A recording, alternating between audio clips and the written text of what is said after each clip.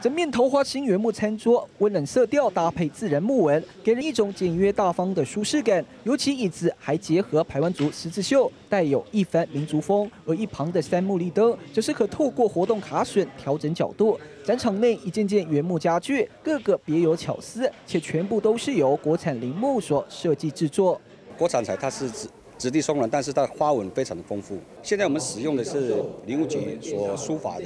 所以它的年龄层大概在三十年到四十年之间的这个年龄层，可以让我们的这个部落因此而受惠，那形成一个呃更稳定、更永续的呃一个绿色的呃产业。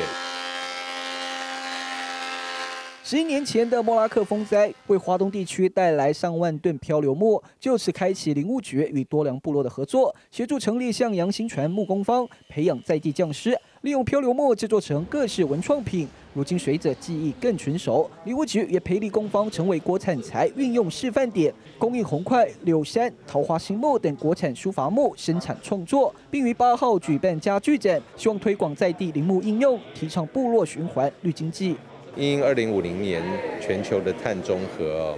这个绝对是一个非常重要的呃趋势。我们使用自己在地生产的这个木材，而且它是一个可再生的。因应全球二零五零年碳中和共识，也就是所谓的碳零排放，林务局自二零一六年起加速推广国产林木多元利用，培力相关产业伙伴。尤其台湾每年木材需求量约为四百五十万立方公尺，但仅有五万立方公尺是国产材，其他百分之九十九都是进口林木。希望借由展览提升国产材的价值与能见度，逐步提高国内木材自给率。